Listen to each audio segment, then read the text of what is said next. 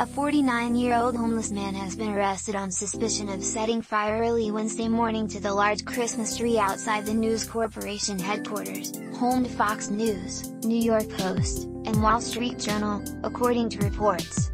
The tree had been lit during a third annual All-American Christmas ceremony broadcast on Fox News on Sunday. It took 21 hours to assemble and had 10,000 glass ornaments and 100 000 lights, according to Fox.